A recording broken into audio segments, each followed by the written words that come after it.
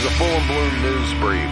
More info at fullinbloom.com. Guitarist John Five was recently interviewed on SiriusXM's Trunk Nation with Eddie Trunk on the infamous on-stage fight with Marilyn Manson during a 2003 performance, John Five said, What happened was my sister passed away. My sister died unexpectedly, and I was shocked. I was in Europe and I was coming down the stairs off the stage after a concert, and they told me my sister died, and I was in a state of shock. You just go into a state of shock. And here's the strange thing that happened to me I didn't sleep for days and days and days. It was the strangest thing. I just wasn't tired. And I remember going to the band members' rooms going, I just can't sleep. I haven't slept now for two days. So, anyways, fast forward to the show. Now, what Manson did, that happened all the time. He didn't do anything wrong. I just snapped. It was weird. I went nuts. I didn't even remember. And I feel terrible watching it now because it really was my fault. You can't really hear what he's saying, obviously, but he's saying, pick up your guitar. Because it looks like he's going, come on, come on. But he's saying, pick up your guitar, pick up your guitar. Because he knew what was going on.